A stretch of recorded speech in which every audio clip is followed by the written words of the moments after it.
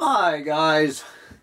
Well, it's finally starting to feel a little bit like spring here in the collapse of global industrial civilization here on this beautiful Easter weekend. It is Saturday, April 8th, 2023, somewhere along there. So I have two picking parties to get to, the little dog and I, and uh, so let me get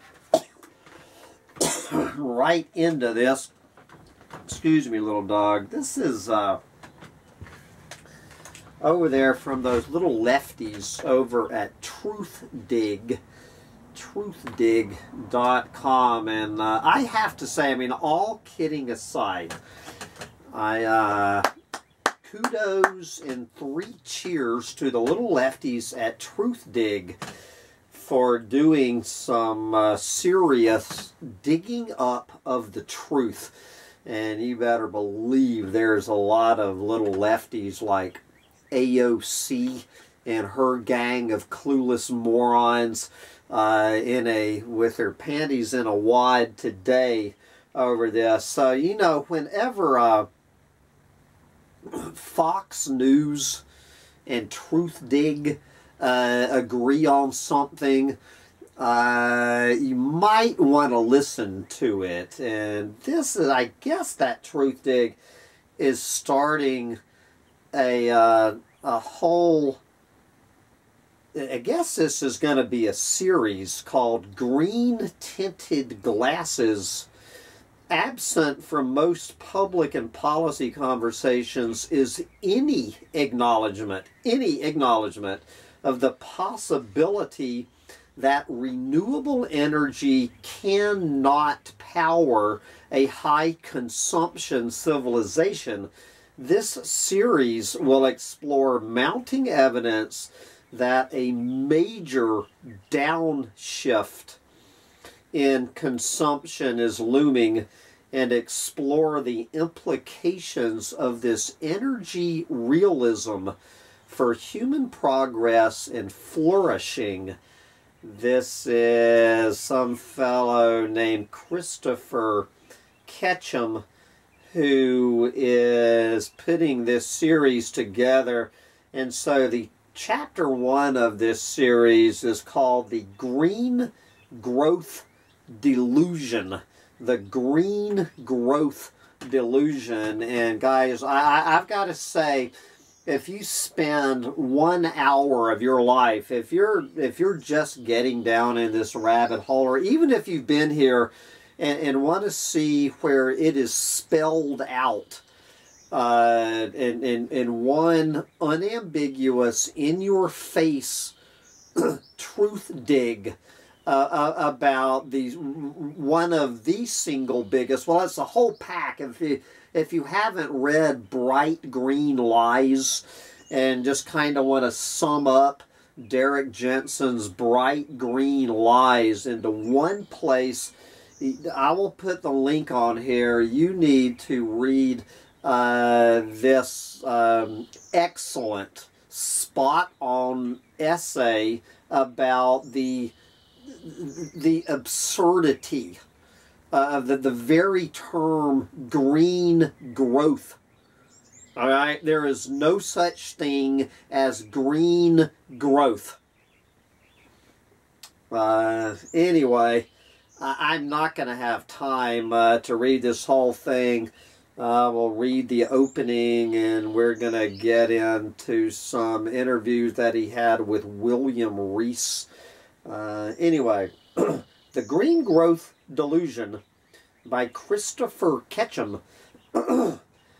Advocates of green growth promise a painless transition to a post-carbon future.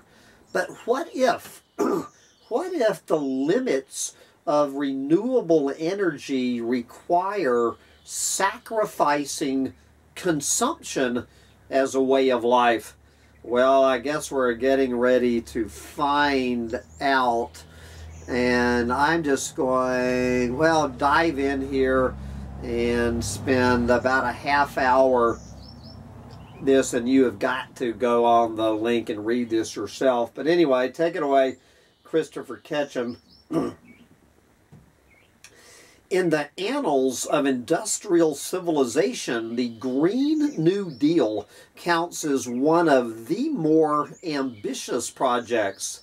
Its scale is vast, promising to reform every aspect of how we power our machines, light our homes, and fuel our cars. At this late hour of ecological and climate crisis, the Green New Deal is also an act of desperation. Our energy ravenous culture cannot continue producing carbon without destroying the systems that are the basis of any advanced civilization, not to mention life itself. Something must be done and quickly to moderate the pressure on the atmosphere at the atmospheric sink while powering the economic machine.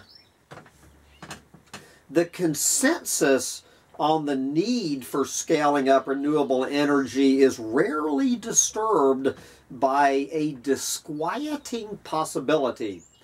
What if techno industrial society, as currently conceived, based on an ever increasing GDP, global trade and travel, and complex global production and distribution change chains designed to satisfy the rich world's unquenchable appetite for bigger, faster, more of everything.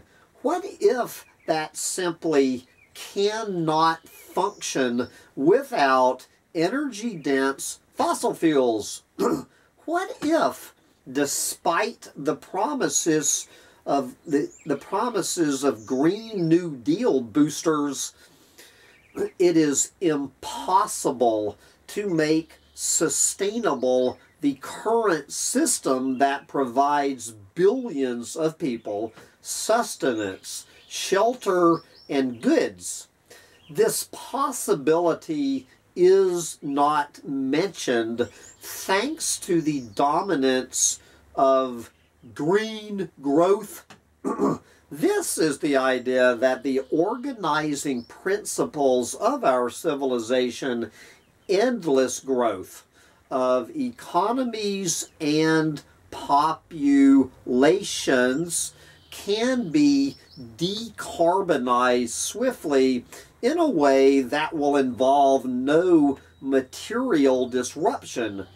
Green growth holds out the promise of transitioning away from fossil fuels directly into something like an earth friendly utopia without a hitch and without meaningful sacrifice.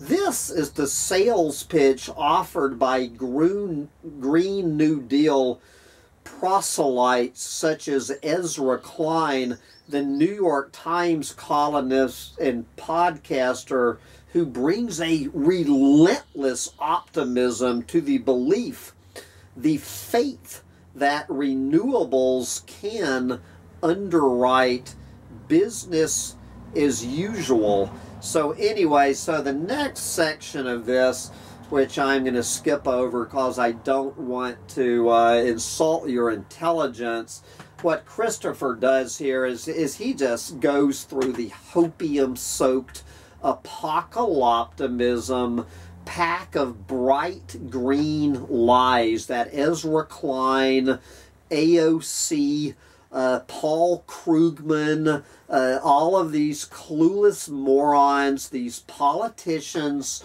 and economists uh, talking this unadulterated horse shit.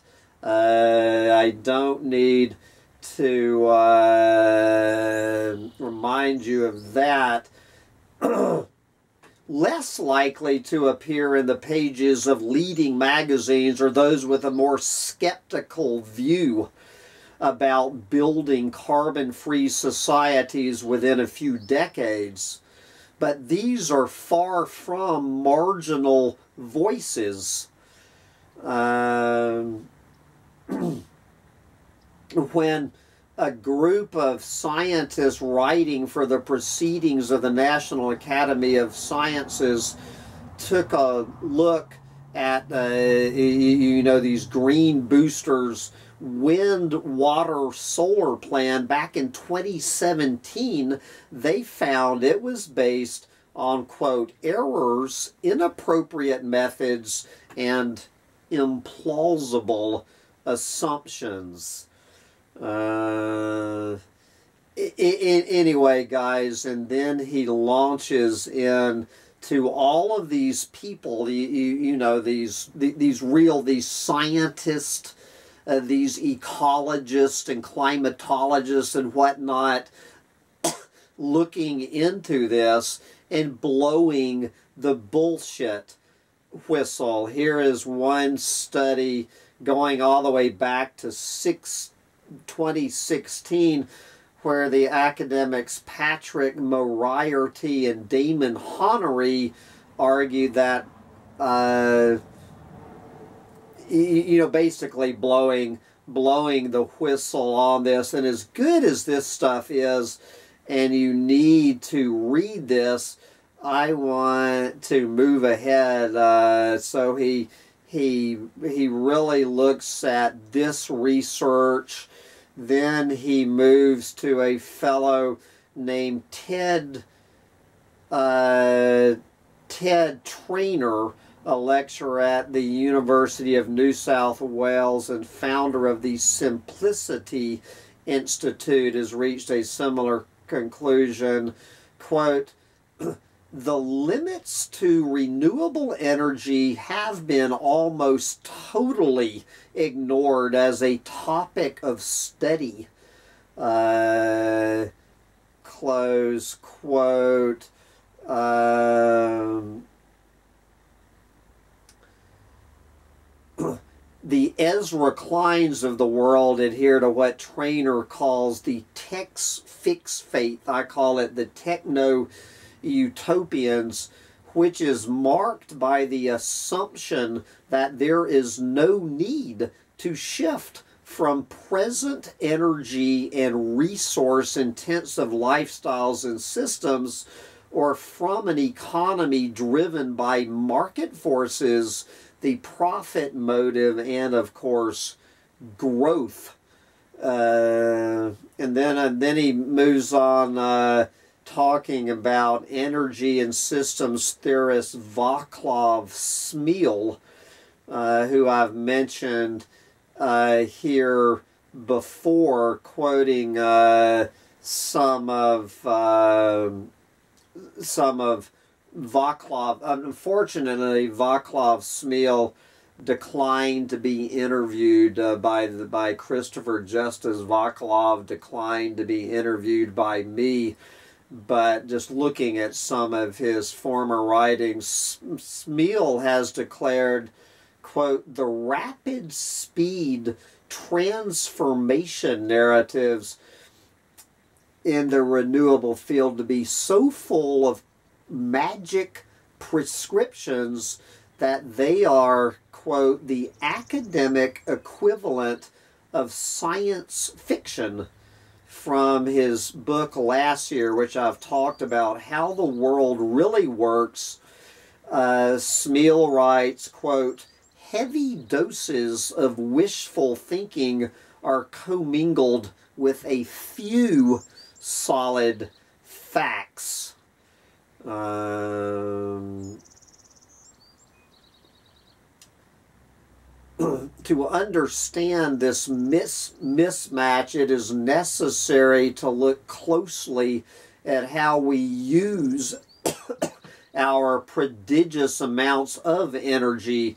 That picture is very different from the one found in Green New Deal presentations full of high-speed rail projects and windmills.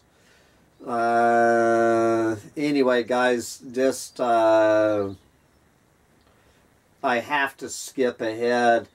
Uh, Smil declined to be interviewed, saying in an in an email, "quote We are dealing with people who, despite receiving relevant education, refuse to acknowledge basic physical and mathematical facts that a global decarbonation decarbonization is impossible by 2030 or 2040 is beyond any reasonable dispute. Uh, Smil is talking here about decarbonization of existing energy demand. And then he goes from Will from uh, Vaclav Smil uh, over here talking about my hero William Rees. If you haven't heard my interview with William Rees. if you go to my interviews playlist, I think that William is the lead-off interview. Uh, as long as this subject, you know, talking about as long as the subject of bright green lies and the green growth delusion, as long as this subject is politically off limits in every major economy today, Smil agrees with sustainability scholar William Rees, who has concluded, quote, the politically acceptable is ecologically disastrous, while the ecologically necessary is politically impossible, close quote. There is no political system on this planet, no matter how lefty utopian they are, there is no political or economic system on this planet in place who is going to have the balls to admit ain't gonna happen. Ain't gonna happen. Guys, this is the single, well, one of the single biggest lies being rammed down our throats by the little greeny lefties. Ain't gonna happen if it did happen, it would be every bit as bad ecologically, probably worse than fossil fuels. The fire is worse than the frying pan. The cure is worse than the disease. This whole green revolution will kill this planet. Is there anybody down here in the Doomosphere uh, questioning this anymore? It's crap.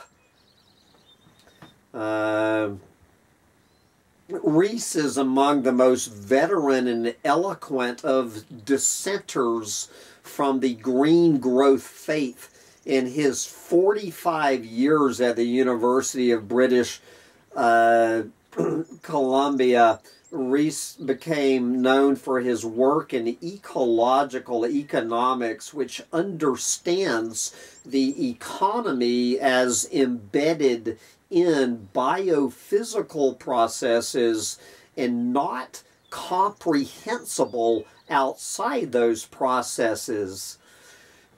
Among GNDers, uh, among Green New Dealers, Rees is just another scold. I love that, uh, you seeing the word scold uh, as as a uh, as a noun for asking whether the idea of powering industrial civilization with renewables amounts to what Rees calls quote little more than a shared illusion, close quote. Well, Christopher and I would call it a delusion.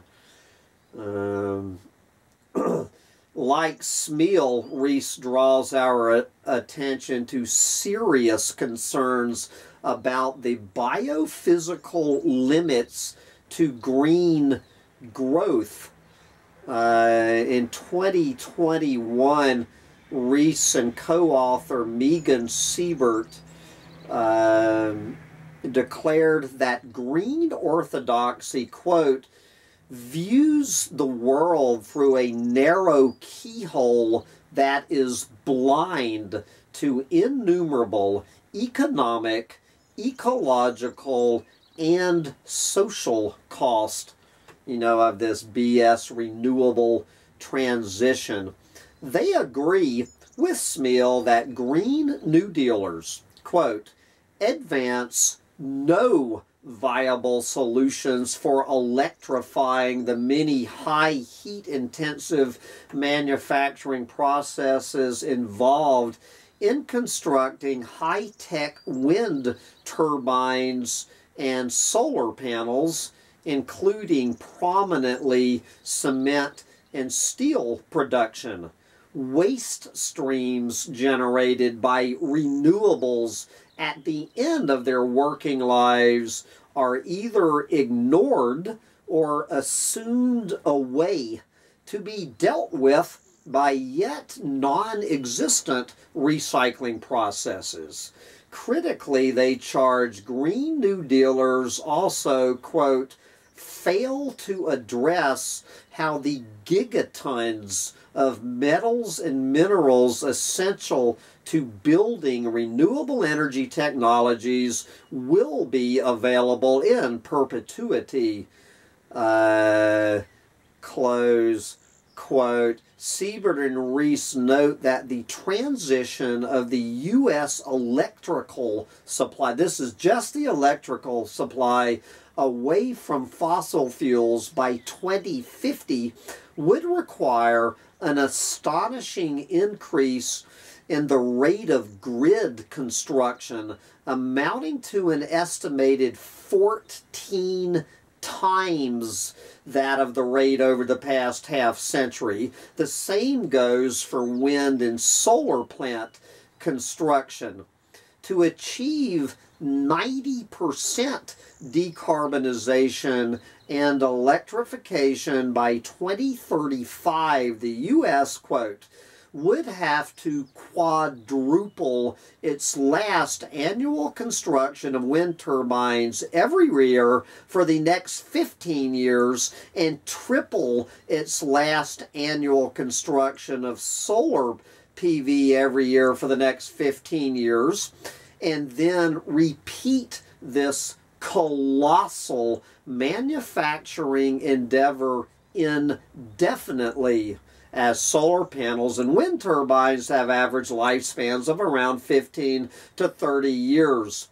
Fossil fuels, of course, are needed for every step of renewables manufacturing. Write Seibert and Rees, quote, the espoused technologies are not renewable. Their production from mining to installation is fossil fuel energy intensive and producing them, particularly mining their metals and discarding their waste, entails egregious social injustices and significant ecological degradation. Close quote. And then what uh, Christopher Ketchum does is he dives in to William Rees and other the, the whole notion of the ecological footprint, not just the carbon footprint, the ecological footprint, uh, which is which I've gone over and then they um, he he separates the ecological footprint from its close cousin, the material footprint. The material footprint focuses on the extraction and use of materials in the global economy. Material footprint is a major driver of biodiversity loss and other ecosystem pressures. In the U.S. and other high-income countries, material footprint per capita increased by nearly 50% between 1990 and 2008, driven by the pursuit of growth, capital accumulation, and consumerism. Today, material use in these countries overshoots sustainable levels by a factor of four. All of this ecological impact gets swept under the rug when we focus only on carbon emissions. Yes, we need to reduce emissions and fast, but we also need to pay attention to other equally dangerous impacts which are not addressed at all by mainstream green new dealers. Uh, and there you go. Here we are uh, again. Uh, I was just reading this um, essay yesterday by this fellow saying while all of the little greenies' eyes are focused on one chart, which is the rising greenhouse gas emissions charts, while all eyes are focused on there, there are 800 other charts that nobody is paying attention to that are also cratering today. And these little greenies, they don't want to hear it any more than the Fox News uh, swillers. They don't want to hear it. Nobody wants to face the truth dig. All right. Rising materials gluttony is a global scourge. So here's a couple of factoids. The annual global extraction of materials, you know, when the population of this planet was one third of what it is today, the annual global of ex extraction of materials in 1970 was 27 billion tons it was 70, 70 billion tons in 2010 and 92 billion tons in 2017. Meanwhile, per capita, global material use went from 7 tons in 1970 to 12 tons in 2015 according to the report, there is growing environmental pressure per unit of economic activity that directly contradicts green growth claims that market and tech efficiency have streamlined the pillage of the earth. Uh, and then, of course, modeling a future scenario that assumes business as usual uh, will hit 190 billion tons by 2060 and double the current rate and per capita material use will rise to a stunning 18 and a half tons. Um, in the, quoting the report, in the absence of urgent and concerted action, the organization warned, in what reads like a classic understatement, rapid growth and inefficient use of natural resources will continue to create unsustainable pressures on the environment the urgency in mainstream circles to deal with greenhouse gases stands in stark contrast to the total silence over our ravenous churning through the raw stuff of the planet. Uh, good Lord. And then uh, here is, uh, this is from the Electric Power Research Institute warning uh, last year, quote, achieving U.S. net zero energy would involve an energy transformation that is unprecedented in scope and scale, close quote.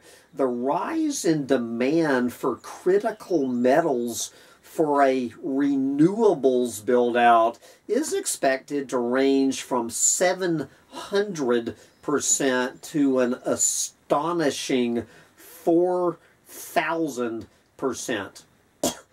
Bill Rees estimates that in the next 35 years, with the doubling of the world economy, the quantity of minerals required for the presumed energy transition will be equal. Okay, this is Bill Rees. Next 35 years, the you know the green energy transition will be equal to all of the minerals ever consumed to date in the course of human history. Uh, quoting Bill Rees, we are projecting more consumption and pollution impacts anticipated in the next 35 years than in the previous 300,000.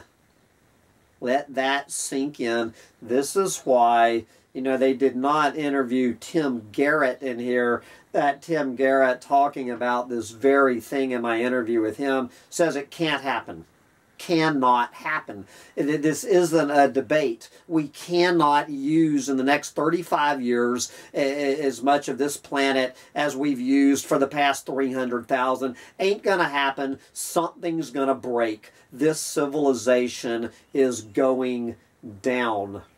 Uh, says energy analyst Mark Mills, who I've mentioned agreeing with uh, with Rees, quote, if it were to be achievable, this would be the largest single increase in demand and supply of metals in all of human history. It has never happened. And of course, I would add, ain't gonna happen. It is not going to happen if we get halfway there where we're killing this planet. Anyway, uh, guys, this goes on and on and on and on. Uh, then they talk about the absolute joke of decoupling, of decoupling uh, the the uh, economy. Uh, anyway, that whole thing, I could uh, I, I could do an entire channel. Um, Hickel and other degrowthists point out that the only way the only way we can feasibly decarbonize fast enough to meet the Paris Agreement goals and reduce other ecological pressures is to scale down industries and activities that we obviously do not need. Uh, and that, again, is why it ain't gonna happen degrowthist entertain the heretical idea that a more a more hopeful future requires more than the hyper development of green technology uh, to displace fossil fuel.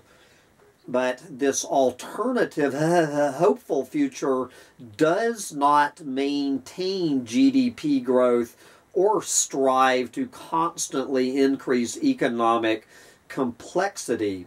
If we are to avoid ecological collapse, we must take the opposite path, one of contraction and simplification, a downsizing of the economy and population.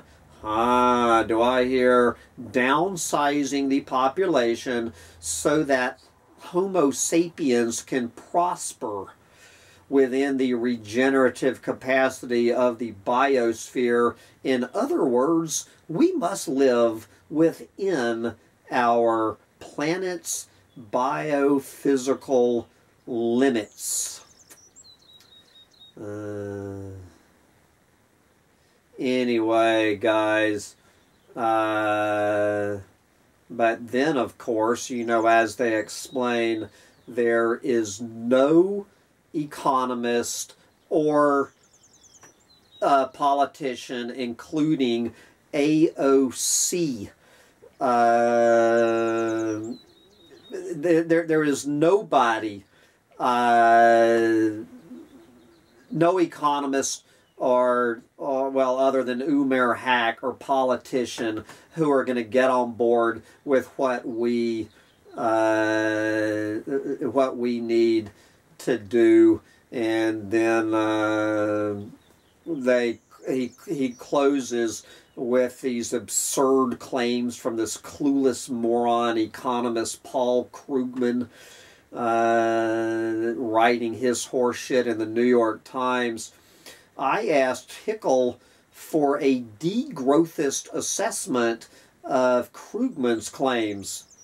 Quote, Krugman and anybody spouting the horseshit coming out of Paul Krugman's mouth, Krugman simply does not know what he's talking about.